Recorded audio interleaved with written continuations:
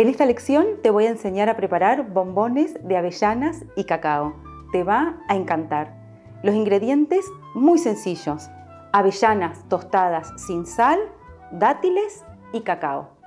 Vamos a empezar. Lo primero que hay que hacer es separar 10 avellanas.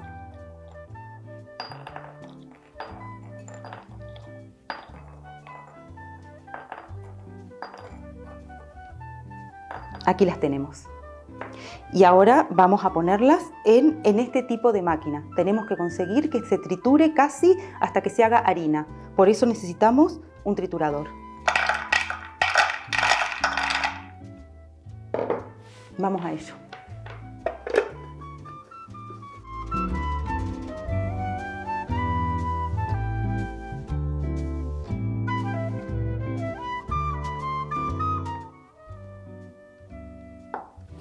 Ahora vamos a colocar los dátiles y el cacao.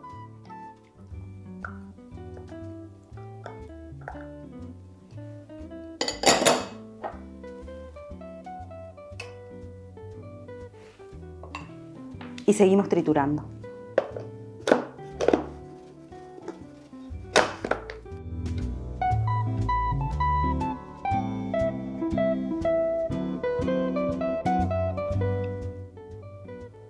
Ahora pasamos a un bol y te voy a enseñar cómo continúa. Y si te estás preguntando, Ale, ¿para qué guardaste las avellanas? Ahora te voy a contar para qué. Vamos a coger un poco de la masa. Mira qué bien cómo se compacta. Una avellana y la metemos dentro. Son bombones con sorpresitas.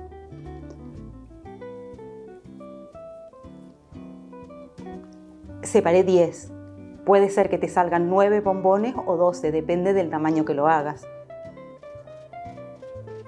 Wow. Otra vez, cojo y eso, compacto.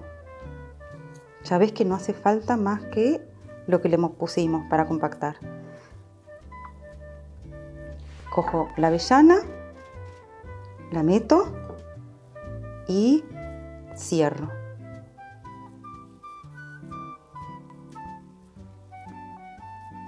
Ya están preparados. Tú ya viste el sistema, la forma en que se prepara. Se coge un fruto seco y una fruta deshidratada. Puede ser avellanas y dátiles como usamos aquí, pero también puede ser nueces, almendras, pistacho y luego puede ser orejones, dátiles, higos, ciruelas, uvas pasas. Tú puedes jugar con la, combinación que más te guste. También puedes agregarle canela, le puedes agregar cacao como hicimos aquí. Puedes humedecerte las manos, mojarlos un poquito, humedecerlos un poquito y pasarlos por semillas de ajonjolí o de sésamo, incluso rebosarlos de canela. Esta es la técnica. Luego tú puedes dejar volar tu imaginación. Esto podría quedar tal cual así y comerlos y están fantásticos, pero vamos a dar un pasito más. Ahora los vamos a bañar en chocolate. Y ahora vamos a derretir el chocolate a baño María.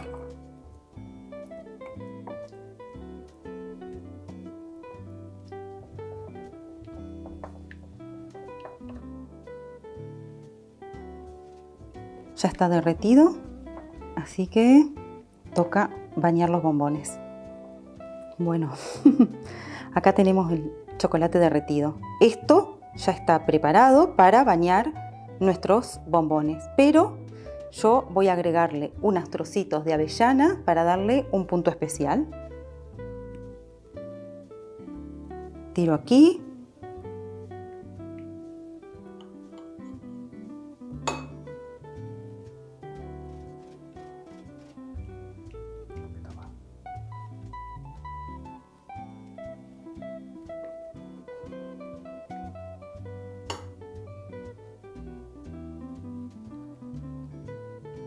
Vamos a ello. Wow.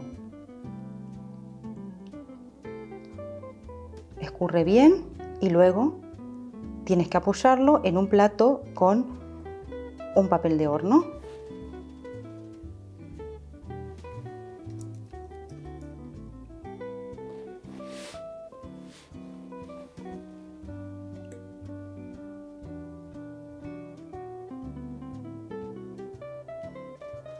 Tómate tu tiempo de escurrir.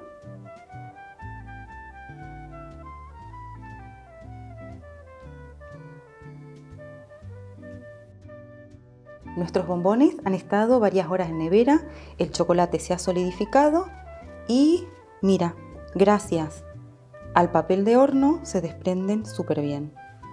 Incluso estos bordecitos se pueden quitar. ¿Qué te parece? Hermosos. Nos vemos en la siguiente lección.